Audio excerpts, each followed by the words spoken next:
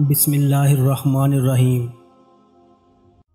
अपनी औलाद की तरबियत अपने ज़माने के तरीक़ों के मुताबिक नहीं, बल्कि जदीद दौर के तकाज़ों के मुताबिक करो, क्योंकि वो तुम्हारे ज़माने से मुख्तलिफ़ ज़माने के लिए पैदा किए गए हैं। ज़िंदगी की ठोकर बहुत निराली है। जब भी लगती है किसी की असलियत दिखा जाती है या फिर कुछ ना कुछ सिखा जाती है। कभी भी कामयाबी को दिमाग में और नाकामी को दिल में जगह ना देना, क्योंकि कामयाबी दिमाग में तकबर और नाकामी दिल में मायूसी पैदा कर देती है। तमाम रिश्तों में सबसे कमज़ोर रिश्ता तुम्हारे जिस्म और रूह का है। न जाने किस वक़्त और कहाँ टूट जाए।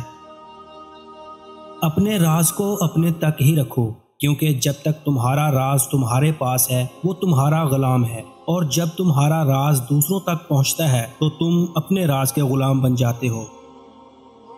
उस अल्लाह से डरते रहो, जिसकी सिफात यह है कि अगर तुम बात करो तो सुनता है, और अगर दिल में रखो तो वो जानता है। बेहतरीन इंसान अपने अमल से पहचाना जाता है, वरना अच्छी बातें तो बुरे लोग भी करते हैं। ज़िंदगी आपको मोहब्बत करना सिखाती है तजर्बात आपको ये सिखाते हैं कि किससे मोहब्बत करनी चाहिए, और हालात से आपको ये पता चलता है कि कौन आपसे मोहब्बत करता है। इंसान उन चीज़ों से कम बीमार होता है, जो वो खाता है। ज़्यादा वो उन चीज़ों से बीमार होता है, जो अंदर ही अंदर उसे खा रही होती हैं।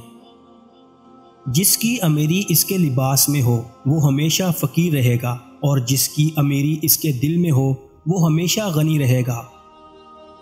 अपनी ज़ात के अंदर एक ऐसा इंसान ढूंढो, जिसे सिर्फ़ अपने लिए ही नहीं, बल्कि दूसरों के लिए भी जीना आता हो। रहम दिली और एहसास दुनिया का सबसे खूबसूरत तोहफा है। आप दुनिया वालों पर रहम करें, अल्लाह ताला आप पर रहम फरमाएगा। ये बात हमेशा याद रखो कि दुनिया की मोहब्बत से रब नहीं मिलता, लेकिन रब की मोहब्बत से दुनिया और आखरत दोनों मिल जाती हैं।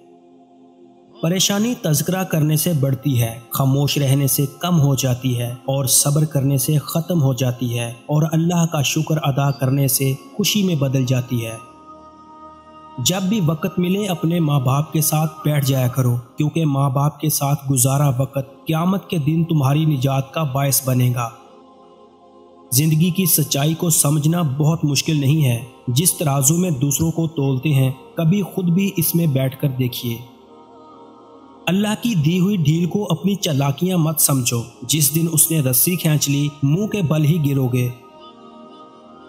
तुम्हारी तकलीफ़ इसलिए ख़त्म नहीं हो रही, क्योंकि तुमने अपनी उंगली इस दरवाजे में फंसाई हुई है, जिसका दरवाज़ा अल्लाह ने बंद कर रखा हुआ है, और तुम इसकी मसलतों को आज तक नहीं समझ सके, क्योंकि वो तुम्हें दर्द नहीं दे रहा, बल्कि दर्द से बचा रहा है।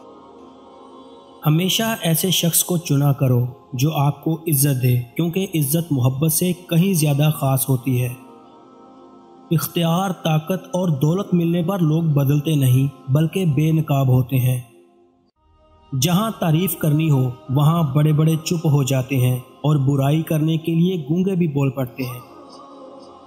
हमेशा इन लोगों का चुनाव करें जिनको इज़्ज़त देने पे वो खुद से बढ़कर आपको इज़्ज़त दें और यही बेहतरीन लोगों की निशानी है। किसी की राह में नाहक मुश्किल पैदा करने से पहले सोच लें कि आप इसकी तो सिर्फ़ दुनिया खराब कर रहे हैं, लेकिन अपनी आखरत तबाह कर रहे हैं। बेहतरीन लोग बेहतरीन नीयत रखते हैं।